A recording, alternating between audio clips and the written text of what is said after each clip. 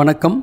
Electronics training in Tamil electronics training in Tamil சேனலில் இன்றைக்கி நான் பார்க்க போகிற video automatic street lights automatic street lights project எப்படி நம்ம மேக் பண்ணுறது குறிப்பாக இதில் நம்ம ஐசி யூஸ் பண்ணியிருக்கோம் அப்படின்னா எல்எம் த்ரீ ஃபைவ் எயிட் ஏற்கனவே லாஸ்ட் கிளாஸில் எல்எம் த்ரீ ஃபைவ் எயிட்டை பற்றி உங்களுக்கு டீட்டெயில்ஸ் சொல்லியிருக்கோம்.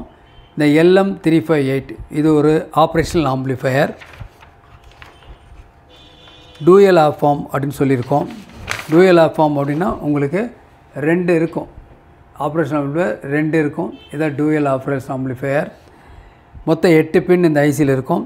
இந்த இடத்துல ஒரு போர்ஷன் இருக்குது இந்த இடத்துல ஒரு போர்ஷன் இருக்குது இது ஏ இது பி ரெண்டு இருக்குது இதில் இந்த ஐசியில் எட்டா பின் சப்ளை நாலா பின் வந்து நெகட்டிவ் கிரவுண்டு ஒன்றா நம்பர் அவுட்புட்டு இது ஒரு சேனல் ஏ இதில் ஏழா பின் அவுட்புட் இது சேனல் பி இந்த சேனல் ஏவில் பின் நம்பர் டூ வந்து இன்வெர்ட்டிங் இன்புட் மூணாவது பின் வந்து நான் இன்வெர்ட்டிங் இன்புட் மூணாவது பின் வந்து ப்ளஸ்ஸு மூணாவது பின் வந்து ப்ளஸ்ஸு ரெண்டாவது பின் வந்து மைனஸ் இன்வெர்ட்டிங் இன்புட்டும் நான் இன்வெர்ட்டும் தெரிஞ்சுக்கிறதுக்காக. அதே மாதிரியே பி இந்த சேனலில் ஏழா பின் அவுட்புட் பாசிட்டிவ் ஆறா பின் வந்து இன்வெர்ட்டிங் இன்புட் இன்வெர்ட்டிங் இன்புட்னா மைனஸ் நான் இன்வெர்ட்டிங்னா ப்ளஸ் இந்த எல்எம் த்ரீ ஃபைவ் எயிட் கிட்டத்தட்ட எல்லா சர்க்கியூட்லேயும் வருது. குறிப்பாக பவர் எலக்ட்ரானிக்ஸ் இதில் சப்ஜெக்டில் வருது. நம்ம கமர்ஷியல் ப்ராடக்டில் ஸ்டெபிலைசரில் வருது. யூபிஎஸ் இன்வெர்ட்டர் இந்த மாதிரி சர்க்கியூட்டில் எல்லாத்துலேயுமே இந்த ஐசி வருது. ரொம்ப ரொம்ப முக்கியம். இந்த ஐசி வந்து சென்ஸ் பண்ணும். இதில் ரெண்டு இன்புட் இருக்குது நான் இன்வெர்ட்டிங் அண்ட் இன்வெர்ட்டிங் ரெண்டு இன்புட் இருக்குது இந்த நான் இன்வெர்ட்டிங் இன்புட் இன்வெர்ட்டிங் இன்புட்டோட கூடுதலாக இருந்தால் இந்த இடத்துல ஒரு ப்ளஸ் வோல்ட்டு வெளியே வரும். இவ்வளோதான் இது கம்பேர் பண்ணிக்கிட்டே இருக்கும். அதுக்கு தகுந்த மாதிரி அவுட்புட் வரும். இதை பேஸ் பண்ணி லாஸ்ட் கிளாஸில் உங்களுக்கு ஒரு ப்ராஜெக்ட் ஒன்று கொடுத்துருந்தோம். எல்லாத்தையும் அசம்பிள் பண்ணி பாருங்கன்னு வர சொல்லியிருந்தோம். இல்லையா பாருங்கள் இதுதான் சர்க்கியூட் இந்த சர்க்கியூட் ஓகே இது ஆப்ரேஷனல் ஆம்பிளிஃபையில் ரெண்டு போர்ஷன் ஏபி ரெண்டாக பிரிச்சுருக்கோம். இது ஏன்னு வச்சுக்கோங்களேன். இது channel A channel B dual channel இதில் ஆறாவது பின் வந்து ரெஃபரன்ஸு இல்லை ரெண்டாவது பின் ரெஃபரன்ஸு ரெண்டையும் காமனாக எடுத்து ஒரு ஜீனர் டயடு கொடுத்துருக்கோம். இந்த ஐசியோட ஆப்ரேட்டிங் வோல்ட் வந்து three வோல்ட்லேருந்து thirty three volt thirty two volt வரைக்கும் ஒர்க் பண்ணோம். இந்த ஆப்ரேஷனல் ஆம்பிளிஃபையரும் ஒர்க் பண்ண வைக்கலாம். இல்லை கம்பரேட்டராக ஒர்க் பண்ண வைக்கலாம். இப்போ நான் பார்த்துருக்குது கம்பரேட்டரை யூஸ் பண்ணியிருக்கோம். கம்பரேட்டர் வேறு ஆப்பாம் வேறு. அந்த அப்ளிகேஷன் வந்து உங்களுக்கு பற்றி டீட்டெயில்ஸ் உங்களுக்கு நான் கொடுக்குறேன். இதில் அவுட்புட் வருதா இல்லையான்னு பார்க்குறதுக்காக ஒரு எல்இடி கொடுத்துருக்கு எல்இடிக்கு ஒரு லிமிட்டிங் ரெசன்ஸ் கொடுத்துருக்கு எல்இடி ரெண்டு கேத்தோடும் உங்களுக்கு காமன் கிரவுண்டில் கொடுத்துருக்கு pin number four ground pin number eight plus ரெண்டு கண்ட்ரோல் கொடுத்துருக்கு. இந்த கண்ட்ரோல் மூலிமா நம்ம என்ன பண்ணலாம்? இந்த ஐசியோட அஞ்சா பின் ப்ளஸ் மூணா பின் வோல்ட்டு நம்ம வேரி பண்ண முடியும். ஆறா பின்னும் ரெண்டா பின்னு வந்து ஃபிக்ஸடு ஏன்னா ஜீனடைட் போட்டு கெப்ட் கான்ஸ்டன்ட் பண்ணிட்டோம். ஸோ இந்த ஆறாவது பின்னோட அஞ்சாவது பின் வோல்ட் அதிகமாக இருக்கும் பட்சத்தில் இந்த இடத்துல ஒரு ப்ளஸ் வோல்ட் வரும். உடனே இந்த எல்இடி எரியும். லாஸ்ட் கிளாஸில் பார்த்துருக்கோம். ஒருவேளை நியூ கமர்ஸ் யாராவது இருந்தீங்கன்னா அந்த வீடியோவை பாருங்கள் ரொம்ப யூஸ்ஃபுல்லாக இருக்கும். அதே மாதிரி தான் ரெண்டாவது போர்ஷன் பியில் என்ன பண்ணியிருக்கோம் அப்படின்னா ரெண்டாவது பின் வந்து ஃபிக்ஸடு நீங்கள் எந்த ஜின்னர் வேணால் யூஸ் பண்ணிக்கலாம். சப்புல ஓட்டில் பாதி இருக்கிற மாதிரி இருக்கணும். ஜின்னர் வோல்ட்டை பற்றி உங்களுக்கு தெரியும். ரெஃபரன்ஸ் வோல்ட் எல்லாமே ஒன் பாயிண்ட் டூ வோல்ட்டில் இருக்குது நீங்கள் அப் டு டுவெல் வரைக்கும் யூஸ் பண்ணிக்கலாம். நோ ப்ராப்ளம் சப்புல வோல்ட்டை பொறுத்துன்னு சொல்லிட்டோம். ஓகே ஏன்னா அது கம்பேரேட்டர் மட்டும்தான். இதுக்கு நீ பர்டிகுலர் அவுட்புட் ஒர்க் பண்ண வைக்கணும் அப்படின்னா இது வோல்ட் வந்து five volt best five volt constant DC source எடுத்துக்கங்க. ஒரு regulator IC seven eight zero five use பண்ணுங்கள் தென் இந்த இந்த ஐசி பர்ஃபெக்டாக வேலை செய்யும். ஃபெயிலியர் ஆகவே ஆகாது. Operating volt should be five volt okay நீங்கள் வேணால் three volt zener diode use பண்ணிக்கலாம். இல்லையா two point four volt zener கூட யூஸ் பண்ணிக்கலாம். ஸோ ரெண்டாவது பின்னோட மூணாவது பின்னில் வோல்ட் அதிகமாக இருக்கும்போது இந்த இடத்துல பாசிட்டிவ் வோல்ட் வரும். அதனால் உங்களுக்கு இந்த எல்இடி வந்து எரியும். இது லாஸ்ட் கிளாஸில் உங்களுக்கு டெமோ பண்ணி காமிச்சிருக்கேன். பார்த்துக்குங்க. இப்போது இந்த சர்க்கியூட் ஆட்டோமேட்டிக் ஸ்ட்ரீட் லைட் இந்த சர்க்கியூட் இதில் பார்த்தீங்கன்னா இது எப்படி ஒர்க் பண்ணுது? இப்போ அதான் பார்க்க போகிறோம் இந்த சர்க்கியூட்டில் இப்போ இந்த சர்க்யூட்டில் இந்த இடத்துல நைன் வோல்ட் டிசி கொடுத்துருக்கோம். இந்த நைன் வோல்ட் டிசி இங்கே வருது. இந்த சுவிட்சு இது. இந்த சுவிட்சு வழியாக கனெக்ட் ஆகுது. இந்த வோல்ட்டு நேராக ஐசியோடைய எட்டா பின்னுக்கு வருது. ப்ளஸ் வோல்ட் எட்டா பின்னுக்கு வருது. இதுதான் ஐசிக்கு வரணும். இதில் நெகட்டிவ் வோல்ட்டு இது பின் நம்பர் ஃபோர் முதல்ல இந்த ஐசி எல்எம் த்ரீ ஃபைவ் எயிட்டுக்கு தேவையான பயாசிங் வோல்ட்டு ஓகே இந்த இடத்துல பார்த்தீங்கன்னா இந்த இடத்துல ஒரு two thirty volt AC input கொடுக்குறோம். இது வந்து லைன் அல்லது ஃபேஸ் இது வந்து நியூட்ரல் அப்போ நியூட்ரல் என்ன பண்ணுறோம் இந்த இடத்துல நியூட்ரல் வந்துடுது இந்த இடத்துல ஃபேஸ் எப்போ வரும் அப்படின்னு கேட்டால் இந்த ரிலே காயில் இங்கே இருக்குது ரிலே காயில் இது வந்து போல் இது ஒரு வே இது ஒரு வே. ஃபேஸ் வந்து போலில் கொடுத்துருக்கோம். ஓகேங்களா?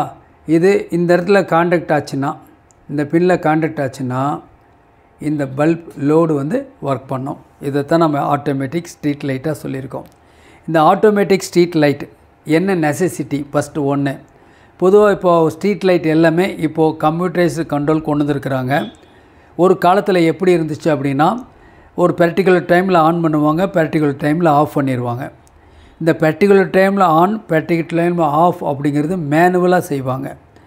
மேனுவல் அப்படின்னாவே தெரியும் குறிப்பிட்ட டைம் கண்டிப்பாக நடக்காது. ஆறு மணிக்கு ஸ்ட்ரீட் லைட் ஆன் பண்ணணுன்னா கால் மணி நேரம் முன்னாடியே ஆன் பண்ணிடுவாங்க இல்லையா கால் மணி நேரம் அப்புறம் ஆன் பண்ணுவாங்க. இல்லை யாராவது ஃபோன் பண்ணி சொன்னால் ஆன் பண்ணுவாங்க. அதே மாதிரி தான் ஆஃப் காலையில் வந்தோன்னா ஆஃப் பண்ணணும். அந்த டைமில் ஆஃப் பண்ணுவாங்க. இல்லைன்னா பகலில் கூட எரிஞ்சிக்கிட்டு இருக்கும். யாராவது இன்ஃபார்ம் பண்ணால் ஆஃப் பண்ணுவாங்க. இப்படியெல்லாம் இருந்துச்சு. கரண்ட் சேவ் பண்ணணும். இல்லை கரெக்ட் டைம் வேணும். ஒன்று சில நாடுகளில். அங்கெல்லாம் எப்படி இருக்கும் அப்படின்னா நமக்கு தெரியும். நம்ம இந்தியா அப்படின்னா அதனுடைய வேறு. சில நாடுகளில் வேறு. சில நாடுகளில் வந்து நாலு மணிக்கே இருட்டாக ஆரம்பிச்சிடும் சில நாடுகளில் நைட்டு எட்டு மணிக்கு தான் இருட்டே ஆரம்பிக்கும். ஸோ இப்படியெல்லாம் இருக்குது அங்கேயுமே இந்த மாதிரி சிஸ்டமெல்லாம் யூஸ் பண்ணுறாங்க இருந்தாலும் ஆட்டோமேட்டிக்காக இருந்தால் நல்லா இருக்கும் இல்லையா? அதாவது இருட்டானால் ஸ்ட்ரீட் லைட் எரியணும். வெளிச்சம் வந்தால் ஆஃப் ஆகணும். இவ்வளோ தான் சிம்பிள் இந்த கான்செப்ட் அப்போ இந்த ரிலே கையில் ஒர்க் பண்ணணும். எப்போ ஒர்க் பண்ணணும்? இருட்டாக இருக்கும்போது ஆன் பண்ணுறதுக்கும் வெளிச்சம் வந்தால் ஆஃப் பண்ணுறதுக்கும் இந்த ரிலே காயில். இதுதான் ஸ்ட்ரீட் லைட்டினுடைய குரூப் இங்கே ஒரே ஒரு பல்ப் மட்டும்தான் காமிச்சிருக்கு. நீங்கள் அசம்பிள் பண்ணி பார்க்கணும் அப்படிங்கிறதுக்காக தான் இந்த ப்ராஜெக்ட் பற்றி எக்ஸ்ப்ளனேஷன் பண்ணிகிட்ருக்கோம் ஒரு நல்ல ப்ராஜெக்ட்டு இந்த ப்ராஜெக்டை ட்ரிபிள் ஃபைவ் ஐசி வச்சும் அசம்பிள் பண்ணலாம். எல்எம் செவன் ஃபோர் ஒன் வச்சும் அசம்பிள் பண்ணலாம். இந்த எல்எம் த்ரீ ஃபைவ் எயிட் வச்சும் அசம்பிள் பண்ணலாம். ஓகேங்களா? ஒரு அசம்பிள் பண்ணி ப்ராஜெக்ட் பண்ணால் தான் நமக்கு அந்த சப்ஜெக்ட் வந்து புரியும். இல்லைன்னா புரியாது. தியரிட்டிக்கலாக எல்லாமே ஈஸியாக இருக்கும். எந்த சப்ஜெக்ட் விஎஃப்டி ட்ரைவே ஐஜிபிடி நடத்தினா கூட புரியும். ஈஸியாக இருக்க மாதிரி தான் சொல்லும் மோட்டர் ட்ரைவில் ஒர்க் பண்ணலைன்னா மட்டும்தான் பிரச்சனை வரும் என்னென்னு பார்க்க தெரியாது. ஓகே ஸோ சிம்பிள் ப்ராஜெக்ட் ஏன் மேக் பண்ணணும் அப்படிங்கிறதுக்காக தான் நான் ப்ராஜெக்ட் மேக்கிங் அப்படின்னு ஒரு கிளாஸே வச்சுருக்கோம். Project level one project level two project level ஒன்றில் சில ப்ராஜெக்ட் ஒரு பத்து ப்ராஜெக்ட் ப்ராஜெக்ட் லெவல் டூவில் கொஞ்சம் கிரிட்டிக்கலாக ஒரு பத்து ப்ராஜெக்ட் ப்ராஜெக்ட் லெவல் ஒன் முடித்தவங்க ப்ராஜெக்ட் லெவல் டூ ஜாயின் பண்ணிக்கலாம். ஏன்னா இந்த ப்ராஜெக்ட் மேக்கிங்கில் தான் உங்கள் நாலேஜை இம்ப்ரூவ் பண்ண முடியும் அப்கிரேட் பண்ண முடியும். அது மட்டும் இல்லாமல் ஆன்லைன் ட்ரைனிங் கொடுத்துட்ருக்கோம். ஆன்லைன் ட்ரைனிங்கில் சிஆர்டி டிவி பற்றி ட்ரைனிங் இருக்குது படித்து முடித்தா சிஆர்டிவி சர்வீஸ் பண்ணலாம். செல்ஃபோன் ட்ரைனிங் இருக்குது UPS inverter emergency light classes இருக்குது pipe point and home that assembling and trouble shooting இருக்குது இண்டக்ஷன்ஸை பற்றி கிளாஸ் இருக்குது ஆல் எஸ்எம்எஸ் பற்றி கிளாஸ் இருக்குது உங்களுக்கு எந்த கமர்ஷியல் கோர்ஸ் வேணாலும் ஜாயின் பண்ணிக்கலாம். மிக குறைஞ்ச பயிற்சி கட்டணம். ஆன்லைனில் மட்டும்தான்.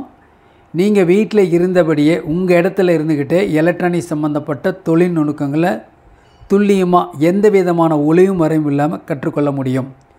இந்த சேனலுடைய நோக்கம் பார்க்கிற ஒவ்வொருத்தரும் சர்வீஸ் இன்ஜினியராக மாறணும்.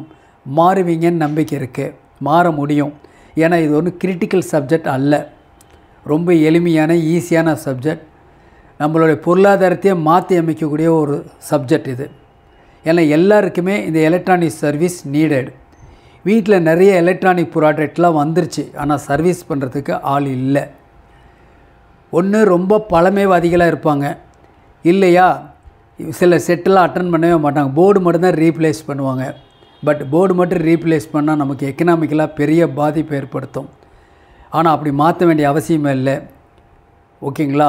நமக்கு சர்க்யூட் தெரிஞ்சதுன்னா சர்க்யூட் இருந்தால் எல்லா ப்ராடக்ட்டையுமே குயிக்காக நம்மளால் சர்வீஸ் பண்ண முடியும்.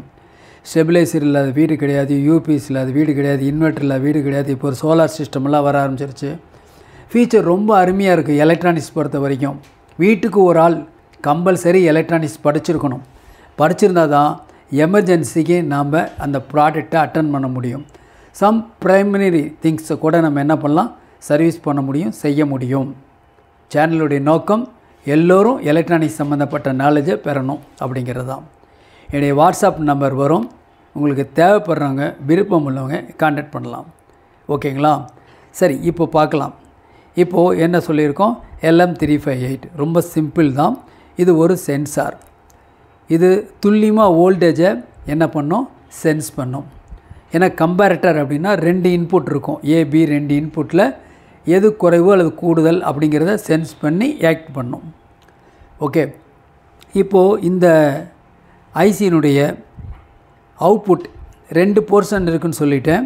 அதில் வந்து நம்ம ஒன் டூ த்ரீ மூணை மட்டும் யூஸ் பண்ணிக்கிறோம். காமன் எட்டாவது பின் ப்ளஸ் நாலாவது பின் மைனஸ் ஒன்றாவது பின் வந்து அவுட்புட் ஒன்றாவது பின் அவுட்புட் பாருங்கள் இந்த ஒன்றாவது பின் அவுட்புட் இதான் வருது. இந்த ஒன்றாவது பின்னில் ஒரு பாசிட்டிவ் வோல்ட் வந்துச்சுன்னா இது என்ன பண்ணும்? இந்த சர்க்கியூட்டை ஒரு ஸ்க்ரீன்ஷாட் எடுத்து வச்சுன்னா உங்களுக்கு யூஸ்ஃபுல்லாக இருக்கும் எப்பவுமே. ஓகே ஒரு ஸ்கிமேட்டிக் டயக்ராம் வச்சு எக்ஸ்பிளைன் பண்ணால் மட்டும்தான் யார் வேணாலும் சர்வீஸ் பண்ண முடியும். கொஞ்சம் இன்ட்ரெஸ்ட் மட்டும் இருக்கணும் அவ்வளோதான் ஓகேங்களா அப்போது ஒன் கே ரெசன்ஸ் தென் இந்த பேஸுக்கு ஒரு பாயிண்ட் ஃபைவ் வோல்ட் வரதா வச்சுங்களேன். இந்த வோல்ட் என்ன பண்ணும்? இந்த கண்டென்சர் இருக்கு இல்லையா? இந்த இடத்துல பாசிட்டிவ் வோல்ட் வந்தோடனே ஃபஸ்ட்டு இந்த கண்டென்சர் தான் சார்ஜ் பண்ணும்.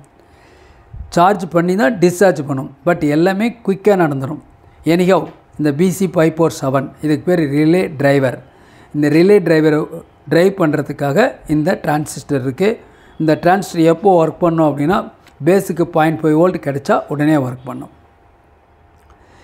பாயிண்ட் ஃபைவ் வோல்ட் கிடச்ச உடனே என்ன பண்ணணும்னா அந்த ரிலே காயிலுக்குள்ளே என்னாகும் ஒரு கரண்ட் ஃப்ளோ ஏற்படும். அதனால் அந்த ரிலே கான்டாக்ட் ஆகும்போது ஒரு டக்குன்னு ஒரு மெக்கானிக்கல் சவுண்ட் ஒன்று வரும். உடனே இந்த ஏசி லைட் எரியும் இரநூத்தி முப்பது வோல்ட் எரியும் அதற்கு முன்னாடி லைட் எரியாது. எப்போ எரியும் எப்போ ஒர்க் பண்ணும் இந்த ஸ்ட்ரீட் லைட் அப்படின்னு சொன்னால் இந்த டிரான்சிஸ்டர் கண்டக்ட் ஆச்சுன்னா ரிலே கண்டக்ட் ஆச்சுன்னா இது ஒர்க் பண்ணும்.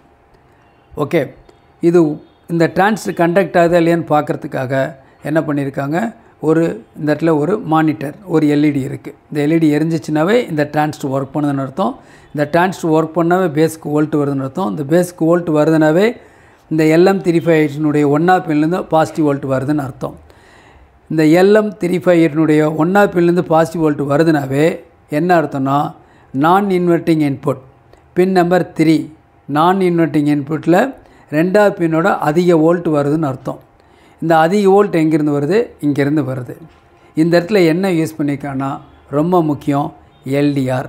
இதுதான் main sensor light depend resistor இதுதான் எல்டிஆர். இந்த எல்டிஆர் மேலே வெளிச்சம் படுறதை பொறுத்து இந்த ரெசன்ஸ் வேல்யூ மாறும். இந்த மாறுறதுனால இந்த LM three five eight கம்பேரட்டர்னுடைய inverting input and non inverting இன்புட்டில் ஒரு வோல்டேஜ் வித்தியாசம்தான். உங்களுக்கு உங்களுக்கு ஒன்றா இல்லை பாசிட்டிவ் வோல்ட்டாக வந்து இந்த டிரான்சிஸ்டரை கண்டக்ட் பண்ண வச்சு இந்த ரிலேவை ஒர்க் பண்ண வச்சு இந்த ஸ்ட்ரீட் லைட்டை எரிய வைக்கிது. ஓகேவா அப்போது இந்த சர்க்கியூட் ரொம்ப ரொம்ப இம்பார்ட்டண்ட் சர்க்கியூட் இந்த சர்க்கியூட் நீங்கள் அசம்பிள் பண்ணி பாருங்கள் இப்போது நான் இந்த எல்டிஆர் பற்றி டீட்டெயில்ஸ் உங்களுக்கு சொல்கிறேன் ஓகேவா? எல்டிஆர் பற்றி டீட்டெயில்ஸ். ஓகேவா? இன்னொரு வீடியோவில் இப்போது வீடியோவில் அடுத்த வீடியோவில் சொல்கிறேன் ஓகேங்களா? தேங்க்ஸ் ஃபார் வாட்சிங் திஸ் வீடியோ